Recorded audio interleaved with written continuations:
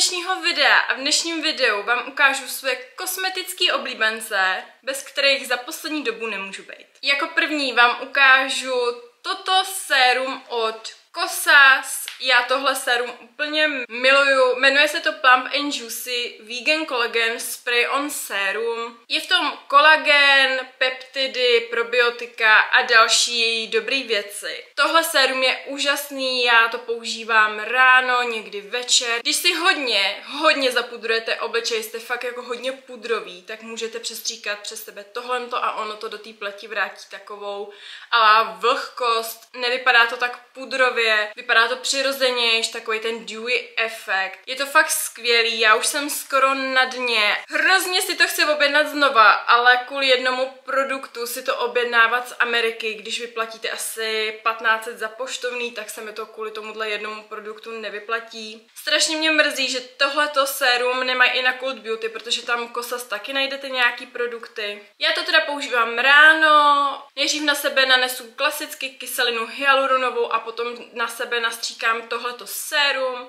nechám to zaschnout, pak používám oční krém a denní krém. Podobně to používám i na noc. Ne, když mám hodně suchou pleť, tak se nebojím tohleto přestříkat i během dne, fakt je to skvělý, pomáhá to. Plně miluju tenhle ten produkt. Když už jsme takhle u té skincare, tady mám ještě jeden produkt, který ráda používám. Je to tahle ta The Essence od Patma Grad. Ona je takhle bílá, jindy je dvoubarevná, protože já jsem to před chvilkou používala tak ještě je to takový spojený dohromady. Tohle to má takovou mléčnou konzistenci, voní to teda po růžích, má to takovouhle konzistenci mléčnou, ale strašně rychle se to sakuje. Zanechává pleť nádherně hydratovanou, ta vůně je příjemná, není to nějaká hodně protivná vůně. Mě to vůbec nevadí, je to příjemný. Já to nanesu takhle do dlaně, protřu ruce a pak to zaťupu takhle pěkně do pleti, nechám to sednout, pěkně vsáknout. Tenhle produkt je fakt skvělý, dobře hydratuje a rychle se vsakuje. Na to, že má takovou hodně mléčnou konzistenci, tak opravdu jako ono už, já nevím, jestli to je vůbec poznat, ale opravdu už je to sáklý, je to hodně příjemný, ani to nevadí pod hutný krémy, takže já tehle produkt miluju. Ono ani moc není vidět, že jsem ho spotřebovala, i když ho používám hodně často. Vy ho potřebujete málo, opravdu málo vám stačí jenom pár kapiček a ono vám to stačí na celý obličej, dokonce i na krk. Na to, že tahle ta esence stojí, není to levná esence, myslím, že stojí něco kolem 1500, něco takového, tak vy ji potřebujete fakt málo a na každodenní používání. K čemu jsem se teď za poslední týdny vrátila a opravdu jsem si to znova oblíbila, vzpomněla jsem si na to, že to je opravdu dobrý produkt. Je Milk Hydro Grip. Tehle ten primer jako fakt skvělý. Make-up na něm drží celý den, hydratuje. Nevím proč, já jsem si myslela, že to je víc lepkavý primer, když jsem to po, nevím, po několika měsících znova použila, tak jsem si říkala, Možná jsem to ani kvůli tomu nechtěla použít, protože jsem si říkala, to je strašně lepkavý, nebude to úplně ono. Jakmile jsem to použila, tak jsem si říkala, to vůbec není tak hrozně hnusně lepkavý, jak jsem si myslela, jak jsem si to pamatovala. Opravdu skvělý primer, mě make-up s ním vydrží klidně i 12 hodin, když potřebuji, vím, že se na něj můžu spolehnout. Je z té trošku dražší kategorie, ale za ty peníze se opravdu vyplatí. Vy ho nepotřebujete moc, je tam toho relativně hodně, 45 ml a stejně to musíte Nevím, jak dlouho tady ani není namalováno, to asi na té papírové krabičce bylo, jak dlouho to můžete používat, ale tak asi rok. Pro mě, která má spoustu primerů, já to ráda střídám, tak se hodně ráda vracím teď k tomuhle Milk Hydro Grip. Používám ho se svým elfem a jsem nesmírně spokojená, opravdu mi hydratuje moji suchou pleť. Ještě ten make-up na tom drží krásně. Teď se vrhneme opravdu do takových jako make-upových, make-upových produktů. Nemám jich tady moc, ale jsou to fakt produkty, který používám, řekněme, skoro na každodenní bázi, protože vím, že se na ně můžu spolehnout. Performujou úžasně, stojí za ty peníze, jako jsou to spíš dražší produkty. Já bych neměnila. Tyhle ty produkty jsou opravdu skvělý, dala bych za ně ruku do ohně, fungují úžasně. Jako první tady mám Patrick Ta a tohle je Patrick Ta For Face Major Headlines Blush Palette Volume 2. Vy už jste tuhle paletku na mém kanále mohli vidět. Já jsem se teď hodně k této paletce vracela, je úžasná. Já miluju tvářenky od Patrick Ta. Ty dua, co mám, jsou matný. Tyhle ty tvářenky v paletce matný nejsou, mají takový lehký sheen a tahle ta má takový větší šimr v sobě. Tu mám ráda používat jako topr na tvářenku, ještě ale rozjasňovač, mám to i dneska na sobě. Co já jsem si oblíbila, je tahle prostřední kombinace, taková brosková tvářenka. Je úplně nádherná. Vypadá přirozeně, pigmentace musíte opatrně, tyhle ty tvářenky jsou hodně pigmentované. Ta brosková, to je moje nejoblíbenější tvářenka teď za poslední pár týdnů, měsíců plus tehle ten šimrový odstín ala takovej topr na tu tvářenku. Já do té tvářenky vždycky jen tak jako maličko dubnu. Ono se nabere hodně produktu, ty tvářenky jsou fakt hodně, hodně pigmentovaný. Potom to oklepu takhle do ruky trošičku a teprve potom jdu na ty jablíčka a nanesu tu barvu. Jako ta tvářenka je neskutečná, ta barva je hodně lichotivá. Já poslední dobou předtím jsem ujížděla, fakt jako ujížděla na hodně růžových, takových růžových. Teď poslední dobou ne a mám ráda spíš nějaký takový přirozenější, takový broskovější barvičky, aby mi to dodalo jenom trošku barvy a skvěle mi to ladilo s mým bronzerem, protože já mám ráda takový hodně bronz efekt. To tahle barva přesně splňuje, je nádherná. Tuhle paletku mají ještě na Cult Beauty a je ve slevě za nějakých 45 euro. Já jsem ji tenkrát kupovala asi za 70-80 euro.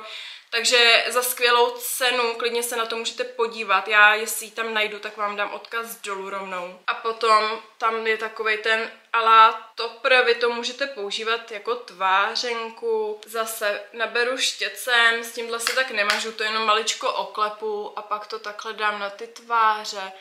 Ale Patrik tam má skvělý produkty, je to jedna z mých nejoblíbenějších značek. Vím, že se můžu spolehnout, že ta kvalita tam bude. On si s tím dává práci. Jestli chcete od Patrikata něco vyzkoušet, tak klidně se na tuhle tu paletku podívejte, protože za ty peníze stojí. Máte tam šest tvářenek, tři krémový, tři pudrový. Každý si tam najde to svoje, máte tady teda tvářenky i podle nálady, když, jste tak, když máte takovou pochmurnou, studenější náladu, můžete jít do téhle studený růžový, když jste takový jako veselější nebo něco, tak klidně tu píč.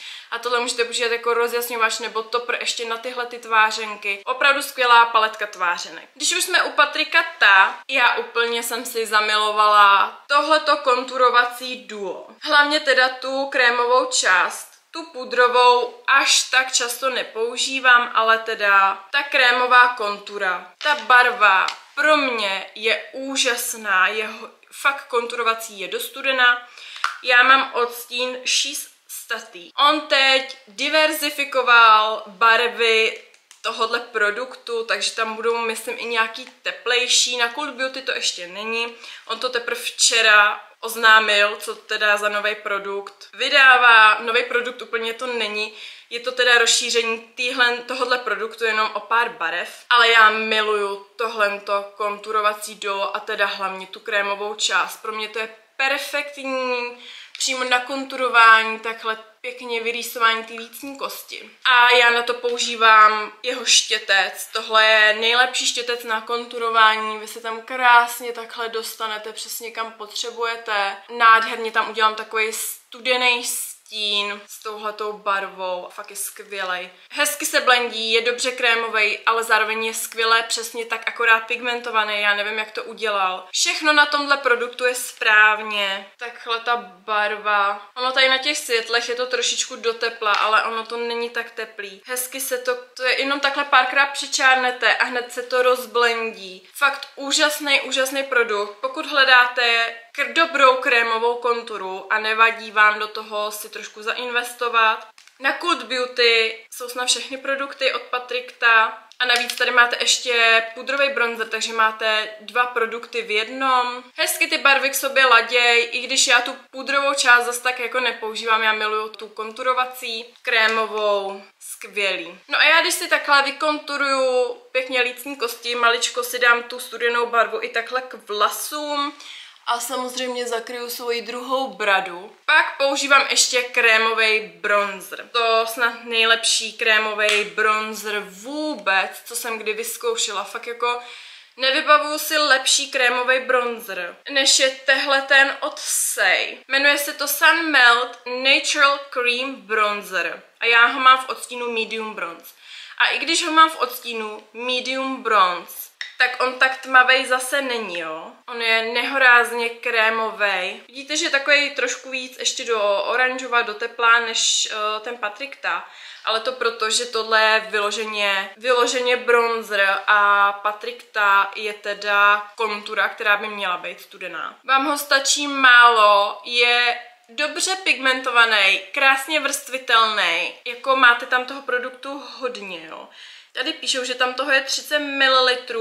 Podle mě nemáte šanci se úplně dostat na dno, protože vám ho stačí fakt maličko.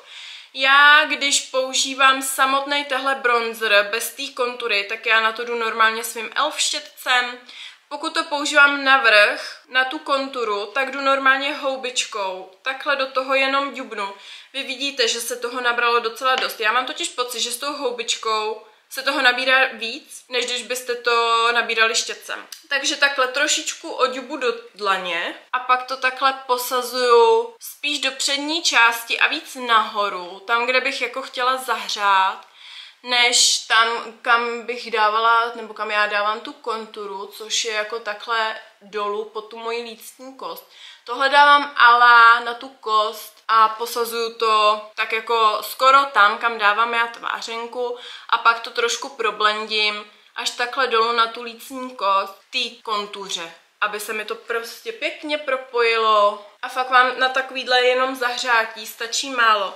Tehle krémový bronzer je úžasný v tom, že vy ho krásně můžete dát i přes pudrový produkty. Na TikToku jsem dost často slyšela, že tohle je dupe pro Chanel, ten jejich proslulý krémový bronzer, ono to má stejný skoro balení černý víčko, možná je to trošku ještě větší, možná tam je toho produktu víc, nevím, já jsem ten Chanel neskoušela. Pokud chcete něco dostupnějšího, tak tehle sej je úžasný. Mají sem tři nebo čtyři odstíny, vybere si každý, já mám ten druhý nejtmavší. Tahle kombinace je pro mě zabijácká, je úžasná, funguje mi na jakýkoliv make-up. Používám tuhle tu kombinaci denně, denně. A vy potom potřebujete krémovou konturu něčím zafixovat, můžete buď transparentním pudrem, ale co já jsem si oblíbila za normální matný bronzer teďka. Je to tehle ten brouček od L'Orealu. Je to z té řady Infallible 24 Hour. Fresh Wear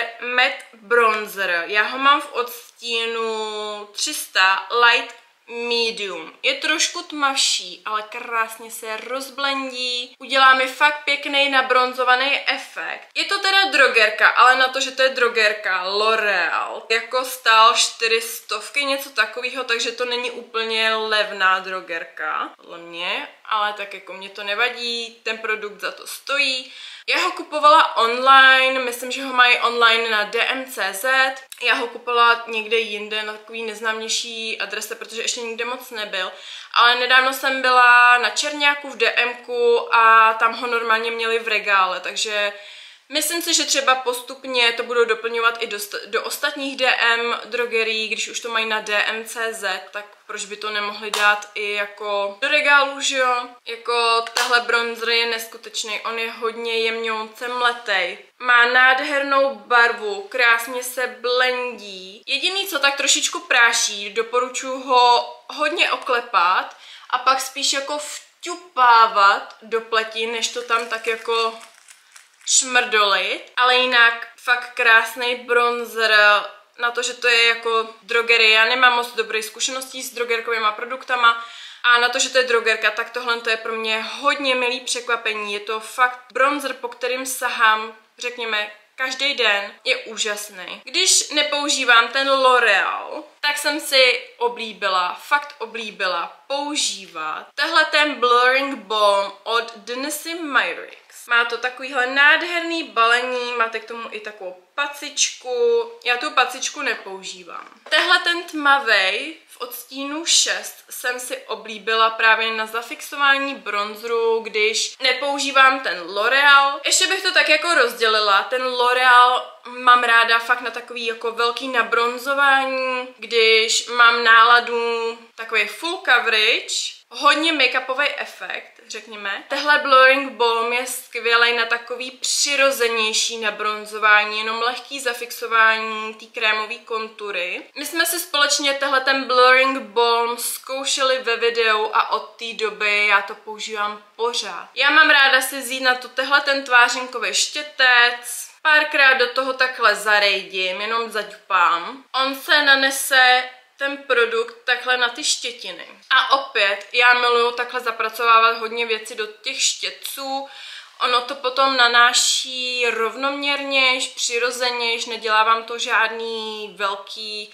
linie na obličeji, takže já takhle zaťupu pěkně pořádně, vidíte, že to zanechává docela dost toho produktu. A ten štětec je hezky zapracovaný, nebo ten produkt je zapracovaný moc hezky do toho štětce a pak to takhle ještě nanesu na ty tváře a pěkně zapracuju do pleti ťupavejma pohybama tam a zpátky. Můžete s tím krásně nabronzovat, můžete takhle naníst až na jablíčka, takový hodně, hodně bronzový efekt. A pokud se vám zdá, že jste to přehnali, tak jednoduše si vezmete houbičku a takhle to jenom přejedete a ono se to sákne do té houbičky a hned to vypadá líp. Já jsem si ani nemyslela, že bych tehle ten produkt měla ráda, jak ho mám a opravdu mě překvapil, dělá to hezký, neúplně matný matný efekt, jako když si dáte ten L'Oreal pudrový matný bronzer, tohle to ne, sice to ono to tak jako zaschne do pudrova, do matna, ale není to úplně matný. Já nevím, je to takový hodně fakt přirozený, takže když nechci úplně matnej, matnej obličej, tak používám tohle to na zafixování toho bronzeru, takový přirozenější make-up look, řekněme, a vypadá to fakt nádherně. Já miluji tenhle ten produkt. Mile mě překvapil, mám ho radši než ten klasický bílej nebo takový ten zabarvený do barvy mojí pleti, tak tehle ten tmavší mám mnohem, mnohem radši právě na takovýhle nabronzování. Vy to krásně velikým štětcem můžete stáhnout i na krk a když potřebujete trošičku, trošičku jenom dorovnat barvu krku k barvě make-upu, co máte, když máte tmavší make-up a jenom maličko takovým velikým štěcem to můžete protáhnout tady právě na krk.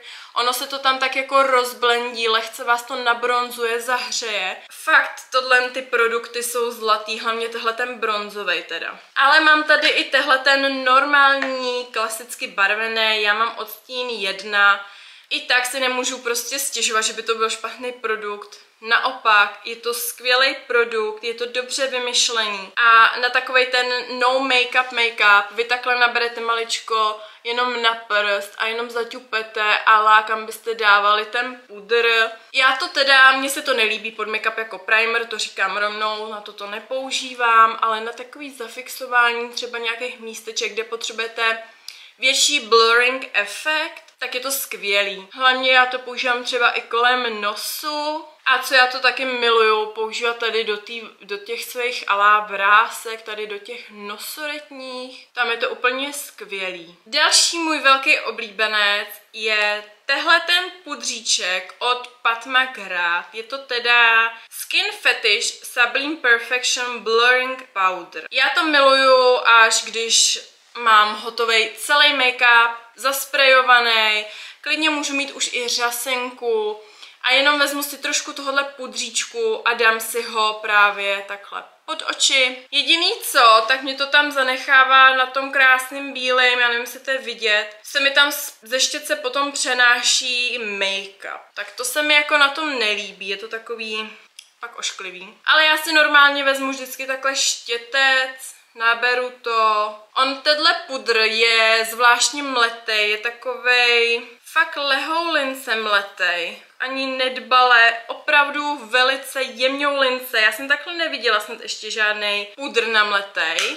A takhle to zaťupávám pod oči, vytahuju to takhle maličko nahoru, ale takový lifting efekt. Nebojím se s tím mít i takhle trošičku tady na tu moji vrázku, na takový projasnění. Někdy, když mám, tam to dávám vždycky, někdy, když mám náladu, tak si to takhle dám jako mezi obočí, takhle na čelo to trošičku zaťupu nic jako velkýho, ono tam toho produktu nenabíráte opravdu moc. Když potřebujete hodně zvýraznit ty lícní kosti, jak jste si tam pěkně nabronzovali, tak si to tam taky takhle můžete jako ten světlej pudr dát a ono vám to ještě víc jako káže.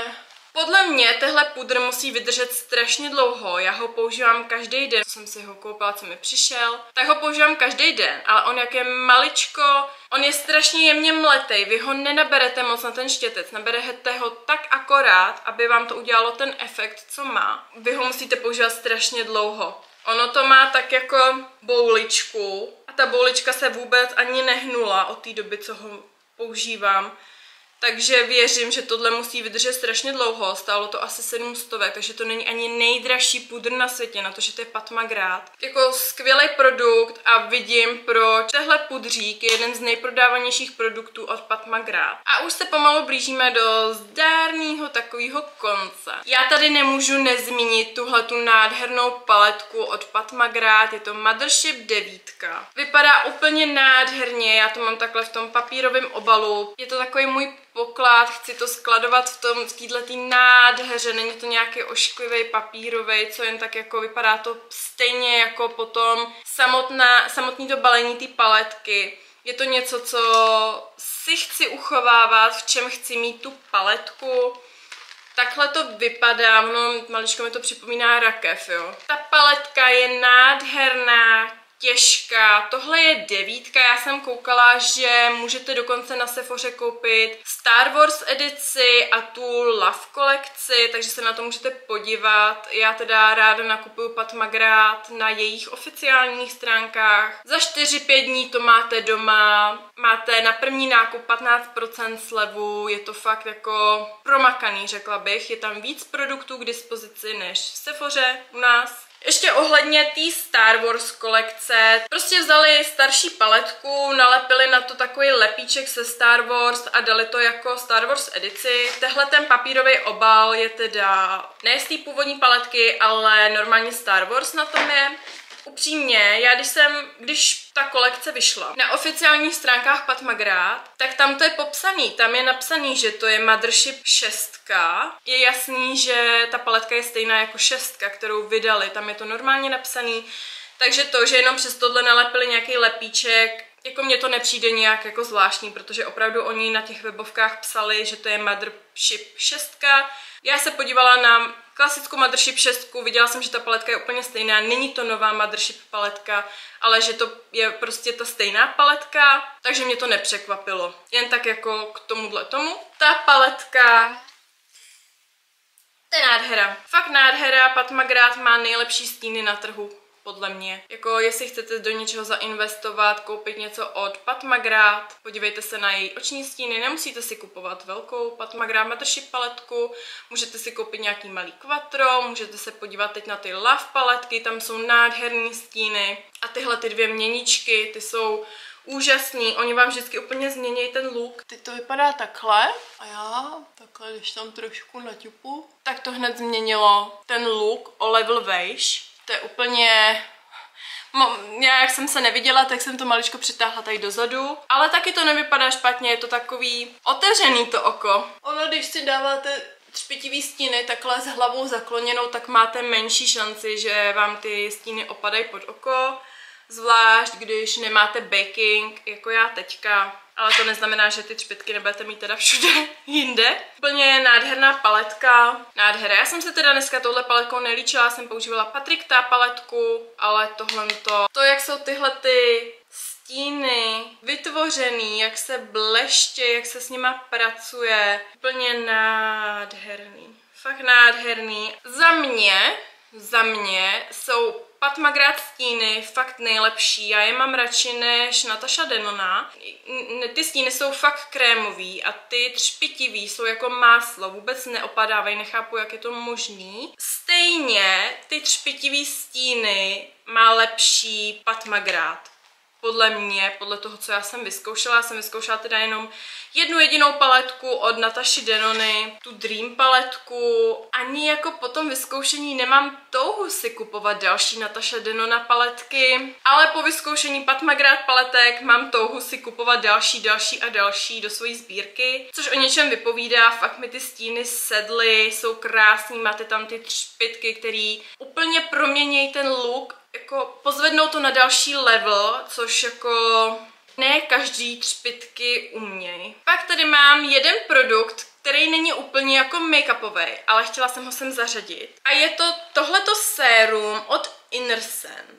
Jmenuje se to I Create Shine. Je to teda sérum na rozjasnění vlasů. Úplně nevím, jestli to jako sérum něco něco dělá, ale já miluju, úplně miluju si to dávat do svých vlasů. Já mám teda třpitky všude. Výhoda toho mít natáčení takhle hned vedle přebalovacího pultu je v tom, že já sáhnu jenom po obyčejných ubrouskách na zadek. Já od Inner Sense používám šampon, kondicionér i nějak nějaký balzám, emulzi na větší objem vlasů. Nemám pocit, že by to bylo jiný, že by to nějak extra fungovalo oproti jiným šampónům, co jsem dřív zkoušela. Tohle to taky nemám pocit, že by to jako dělalo nějaký jako léčebný efekt na to, abych měla hodně lesklý vlasy. Proč já jsem blázen do toho? Používat to jako každý den, já to fakt do sebe patlám každý den, minimálně jednou denně. Ale i když se mi pak mastějí vlasy, jo, to prostě nepochopíte. A teď důvod, proč to miluju. Ono to má nádhernou vůni. Já bych se v tomhle mohla koupat normálně. To ty šampon, kondicionér, i ta emulze a tohle, ono to smrdí, jako nemá to příjemnou vůni, je to spíš takový jako neutrální, něco takového do...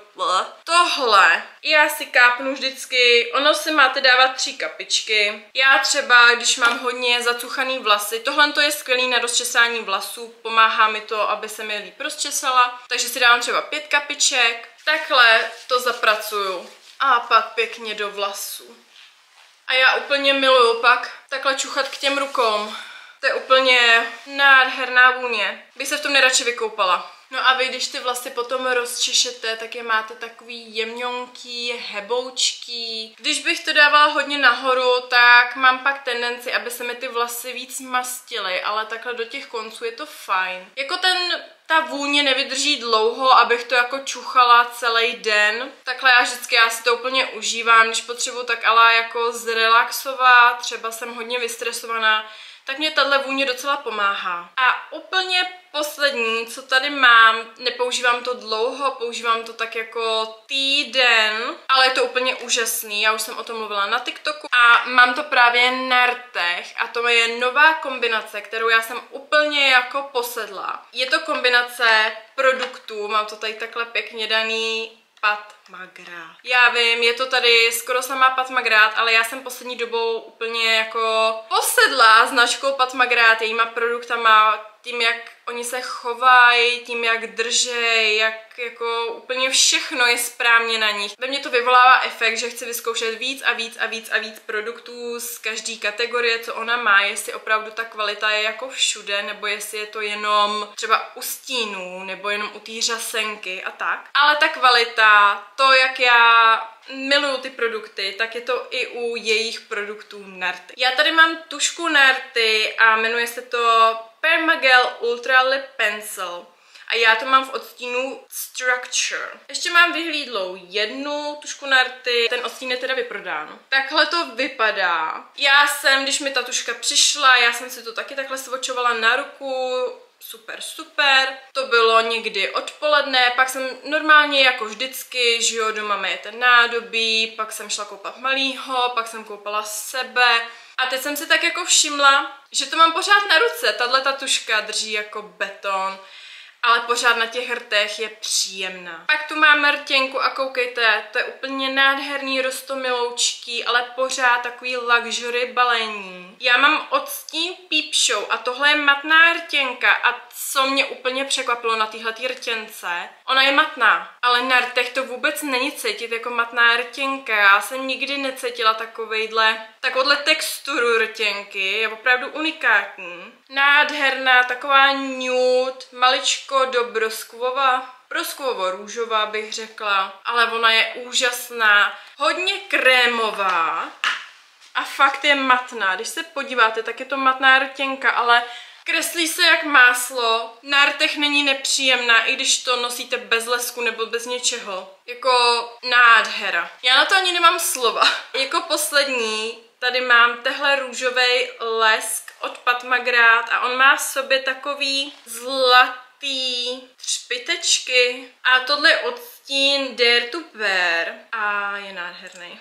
Fakt nádherný, jako tady ten a úplně jako takovej neutrální, zase růžovo, broskvovo. Ono v tom ani ty třpitky nejsou vidět, je to nádherný, nádherný lesk na rty. Jako ve mně to vyvolalo chtíč vyzkoušet víc těch lesků, ona má víc finishů, bohužel spousta z nich je vyprodaných, ale já úplně vidím, proč jsou ty produkty vyprodaný, jsou skvělí, jsou kvalitní, skvělý. A to byly všechny moji oblíbenci za poslední dobu, klidně i za poslední měsíce, ale i týdny nebo dny. Tyhle ty produkty jsou fakt skvělý, jsou kvalitní, vím, že se na ně můžu spolehnout. Schválně mi dejte do komentářů vědět, jaké jsou vaše nejoblíbenější produkty za poslední dobu. Budu ráda, když mi dáte like, odběr a uvidíme se spolu zase příště. Ahoj!